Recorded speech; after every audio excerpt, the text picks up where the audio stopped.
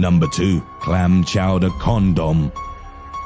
In 2002, a woman from Irvine, California discovered a disgusting item that had somehow ended up in her bowl of clam chowder. While enjoying the dish, she started chewing on something of a rubbery texture. She'd initially assumed that it was calamari or some other type of chewy seafood. She had to spit out the mysterious morsel, which actually turned out to be a condom. After suing the restaurant, the woman won an undisclosed settlement.